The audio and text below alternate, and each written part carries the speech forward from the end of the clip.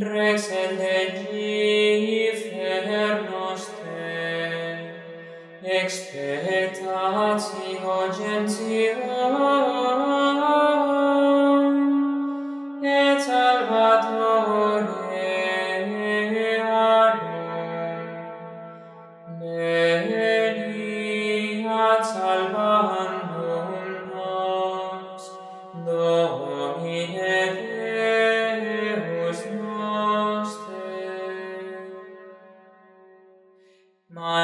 magnificat anima mea Dominum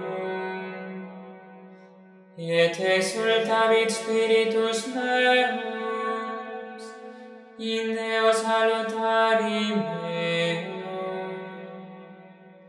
Qui ha respesitum veritate evangelis et enim ex hoc beatam medicentum de generationis, Qui ha feci mici mania qui patens est, et santum nomen eius. Et misericordia eius a progenie in progenies,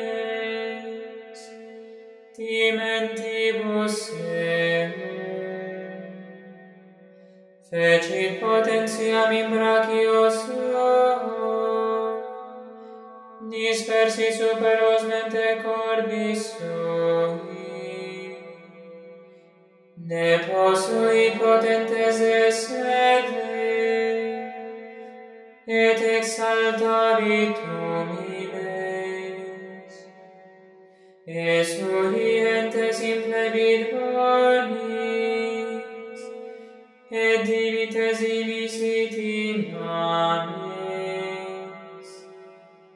Suscetit Israel puerum suum, recordatus misericordiae suae,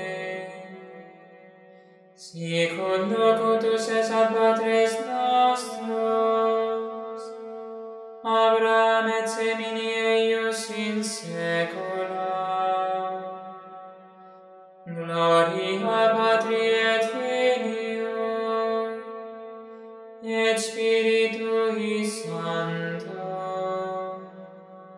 sicut erat in principio et nunc et